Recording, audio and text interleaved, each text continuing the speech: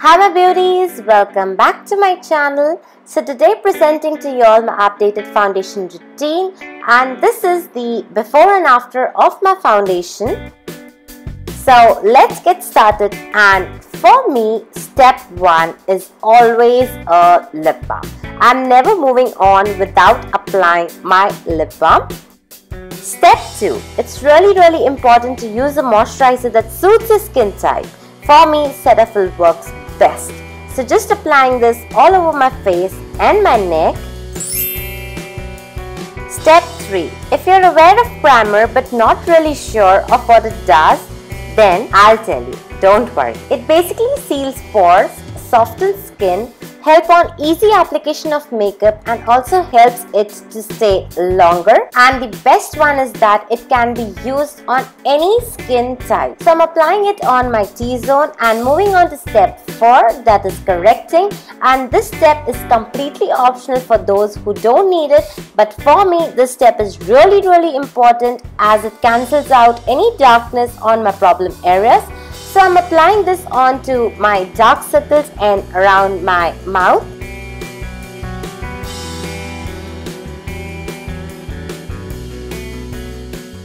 Step 5. The ultimate base to any makeup is your foundation.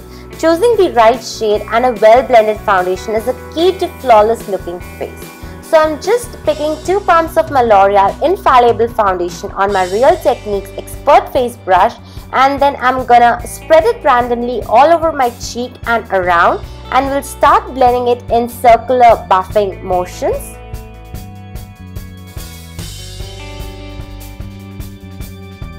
Picking some more and applying it on my forehead and neck and we'll keep blending till I see no harsh lines.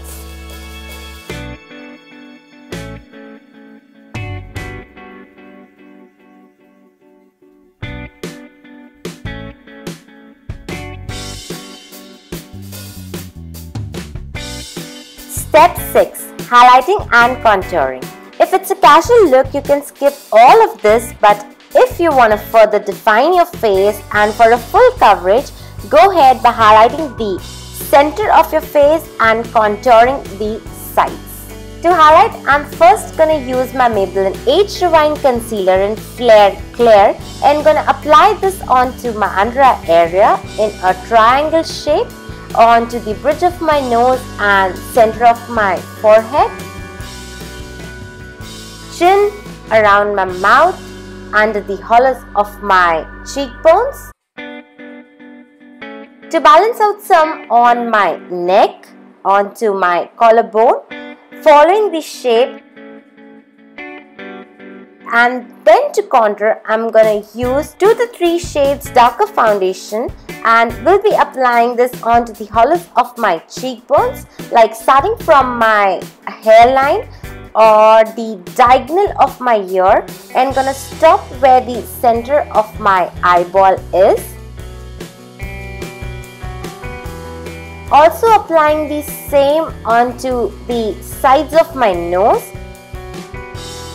on the lower of my lip jawline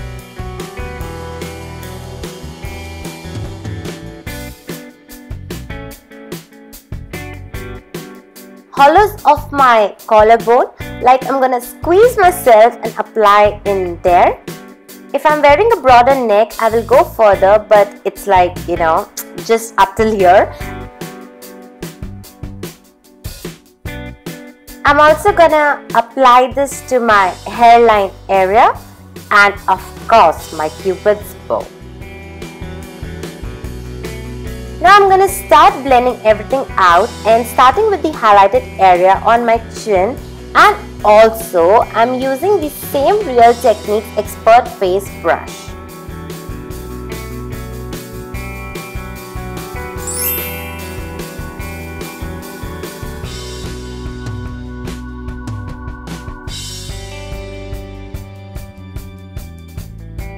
all the highlighted area that I'm blending will be outwards that is towards my contour.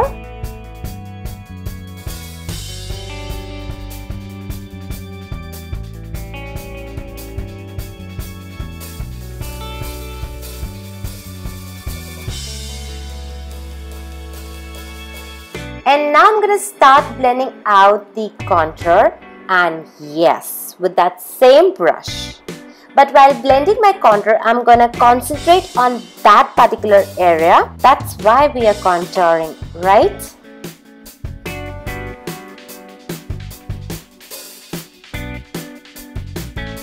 Now for my collarbone area, I'm gonna put on super speed mode, but I'm just following the exact same steps.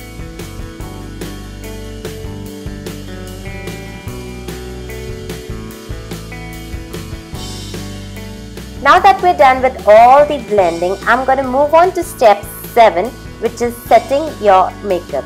And I'm totally in love with the cooking or baking method these days. It actually refers to letting powder sit on the highlighted areas on your face for like 4 to 5 minutes which allows the heat from your face to set your base foundation and concealer and then dusting it off your face leaving you with creaseless flawless finish. So I'm doing the exact same thing applying a hell lot of powder on my highlighted areas letting it sit there for like 4 to 5 minutes. Meanwhile, I'm gonna set my contour with a darker powder product now what happens is when I apply my powder bronzer, the excessive powder of the highlighted areas at the end help create a transition effect which is what we want. So I'm just applying my bronzer wherever I have applied my contour.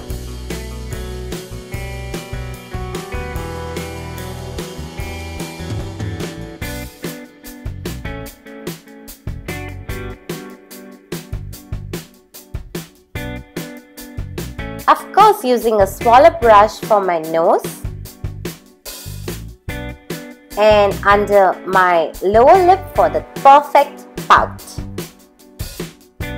Now it's time to dust off all the excessive powder and this will at the same time help me buff out everything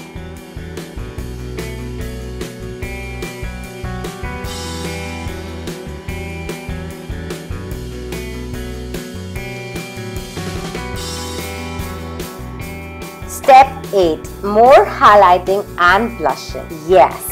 Now I'm gonna use my Sigma in the Nightlife highlighter and gonna dot it on the highest points of my cheekbones, little on the bridge of my nose and its tip, cupid's bow and chin. I'm gonna use my fingers to pat it and spread it.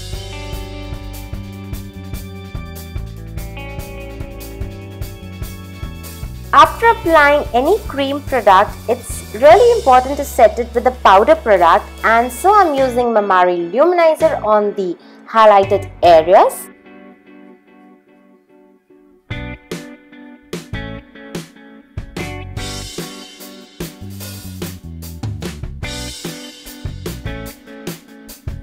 and this is called the power of editing. I've done my eyebrows and just a little bit, you know, now I'm gonna blush blush with a corally blush which goes right on the apples of my cheeks. And last but not least, step 9 which is makeup setting spray and I'm using my MAC Fix Plus to set everything in place and for that dewy looking skin. Especially when you're doing the baking method, don't skip this step. And that's it. This is pretty much my updated foundation routine. This is what I do for special occasions. I hope I helped you all in some or the other way. Please don't forget to give it a like, do comment and subscribe. Thank you so much for watching. Bye.